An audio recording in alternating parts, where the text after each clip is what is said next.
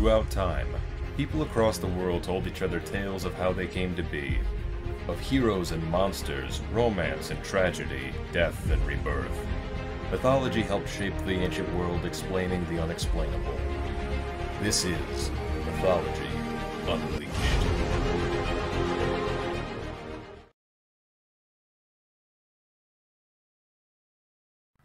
The concept of a being's life coming to an end, but being reborn into a new and better existence, is common throughout mythology and folklore. But arguably, none are more famous than the legendary phoenix. Often described as being the only one of its kind, the phoenix is a large bird, often depicted akin to a large eagle, beautiful in appearance, with vivid plumage, and a song that lifts the heart of all who hear it. When it is time for the phoenix to die, variously claimed as anywhere from 500 to 1,000 years or more, the bird is engulfed in flames until it is naught but ashes. But then a miracle occurs, and the phoenix is reborn from the ashes of its former self. It is a beautiful concept, and one that inspires hope. But where do the myths of the phoenix originally come from? The origins surrounding the myth of the phoenix are shrouded in mist. No one seems to know exactly where it came from. The earliest mention concerning a phoenix-like bird comes from Egyptian mythology, in the form of the Bennu, a heron-like entity associated with the sun, creation, and rebirth.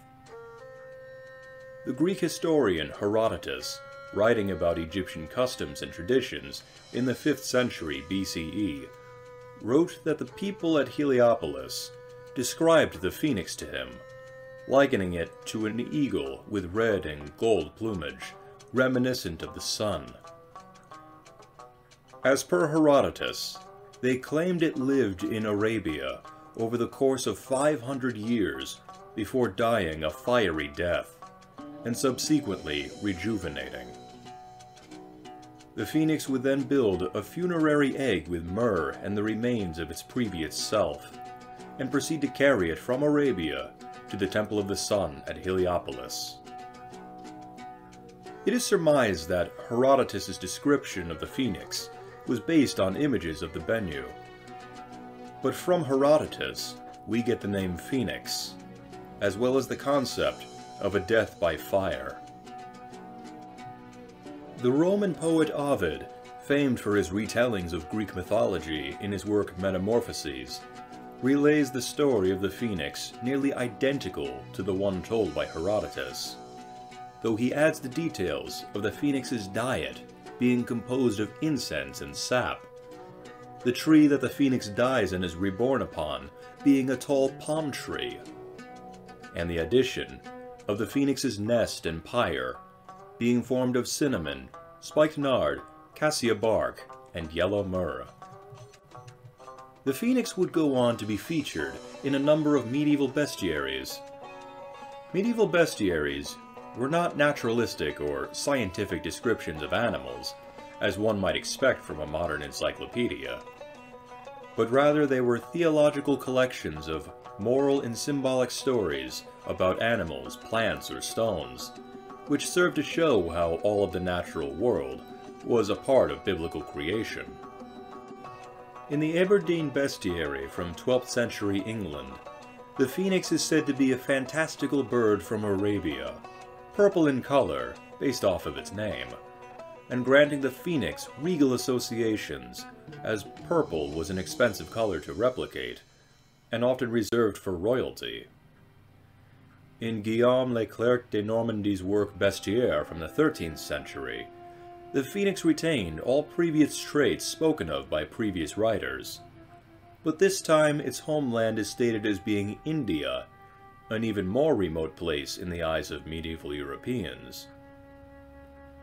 From these ancient sources, spanning many centuries, we can conclude that the ancient world saw the phoenix as regal and beautiful, filled with majesty and power, and being incomparably exotic. The phoenix is a truly marvelous bird, but no one seems to know exactly where its legend originates.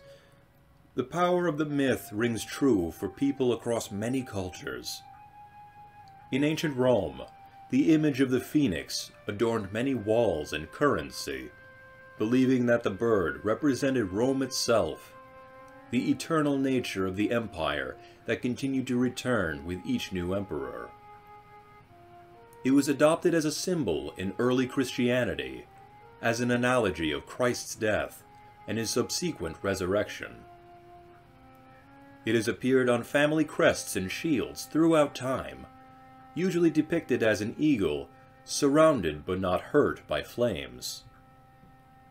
Phoenix, Arizona was named such because it was settled upon the ruins of a Native American site and the first European inhabitants decided to name their city in concurrence with the idea that from the ruins of one city, another was created.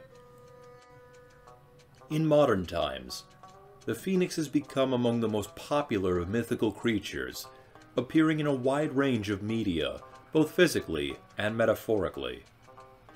From William Shakespeare's The Tempest and Ray Bradbury's Fahrenheit 451 to the Chronicles of Narnia and Harry Potter. The Phoenix's staying power is so strong perhaps because of all the mythical creatures from antiquity. The Phoenix is the one that frequently expresses an enduring sense of hope and redemption. The story of the Phoenix explains that we as humans are all of us capable of rising from our own ashes.